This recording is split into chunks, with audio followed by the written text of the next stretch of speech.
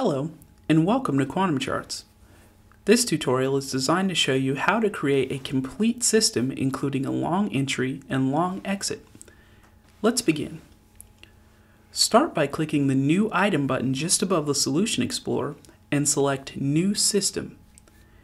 This will bring up the New System dialog box. Start by naming your system.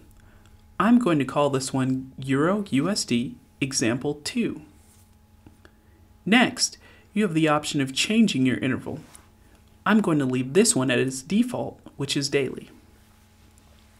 Now, click the Select button. The Instrument dialog is where you will choose your desired instrument for analysis. Type in the security symbol and press Search or hit Enter. Now your desired symbol will appear within focus. Once you have selected the symbol, press OK to leave this menu, and press OK again to begin loading the chart. Once your chart is loaded, you will notice green highlights on the screen. These highlights represent all of the trades made within your system.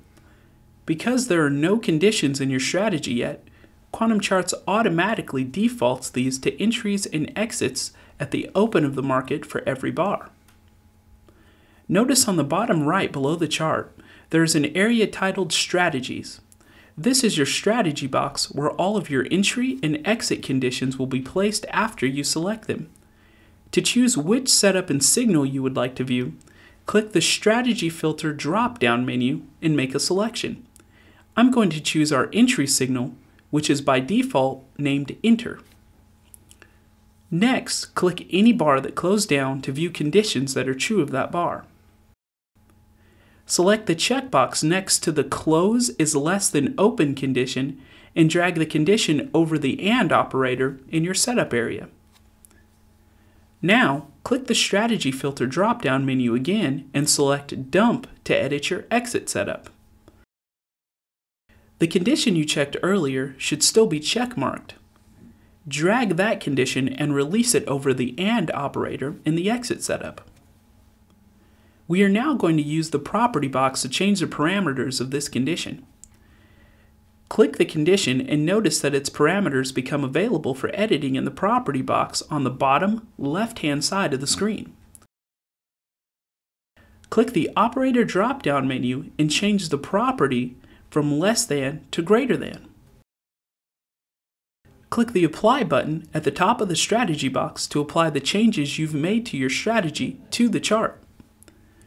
Notice that all of your occurrences are now highlighted in tan and all of your trades are highlighted in green on the chart. Click the Analysis button to view how your entry setup has performed historically.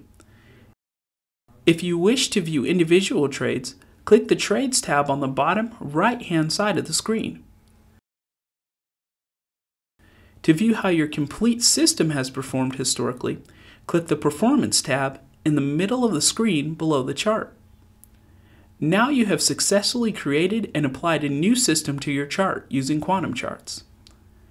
This concludes the tutorial. If you have any questions, please feel free to contact us directly at support at quantumcharts.com. If you wish to chat live with us, please visit the support page of our website and click the chat link at the top of the page.